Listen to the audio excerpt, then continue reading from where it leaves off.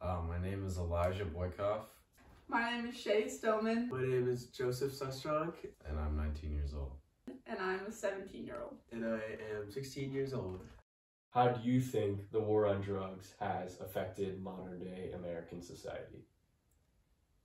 Well, I think that the war on drugs is really just a front for incarcerating black people. Um, it's just modern day slavery, honestly.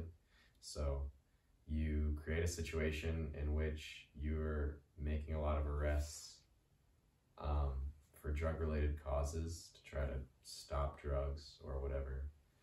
And a majority of those arrests are minorities, specifically black people. And those black people are then put into forced labor um, by the criminal justice system.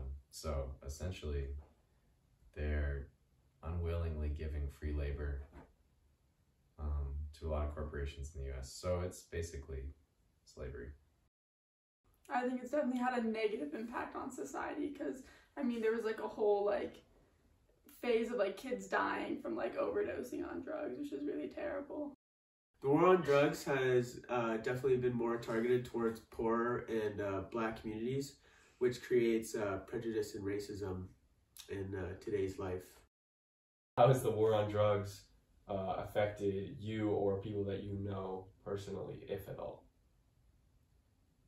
Um, it has not affected me, but I think that that's partially because I am white and I.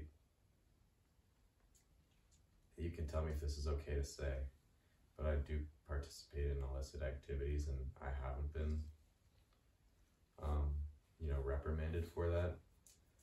So think that the war on drugs is very situational. Um, so it, it hasn't affected me to the same degree, but I have been like caught by police before and uh, have not been arrested.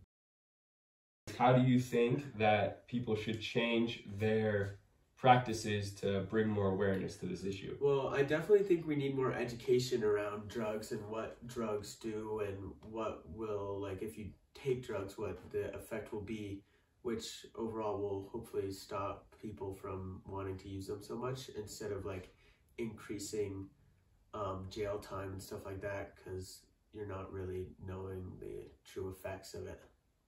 Okay, and then would you say that um, teaching that anybody can be affected by drugs, it doesn't just have to target one community?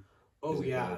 Well, I definitely think even like rich people, just because they have so much of an easier chance of acquiring the drugs, it makes it, and especially in like the club and partying scenes um, around high schools and stuff like that, where people just like want to use them, and they just we don't really get the education of why they're so bad to use and like what would happen to us in the future if we do end up using them.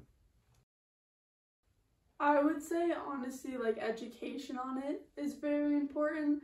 As like you know, a bunch of kids don't know what they're getting into with many of these drugs, and maybe like how to get help would definitely change perceptions on them. And I think also the education on like the downsides and like the side effects would also create more of like an overall idea of like what it is, the war on drugs. Okay, sweet. Thank you. All right, sweet. Thank you so much. Sure.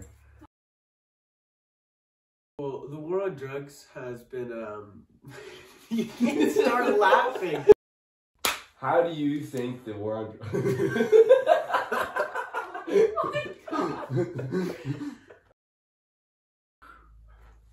Uh, we got this.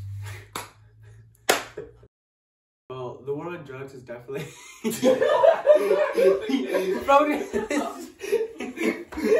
Bro just looks at me.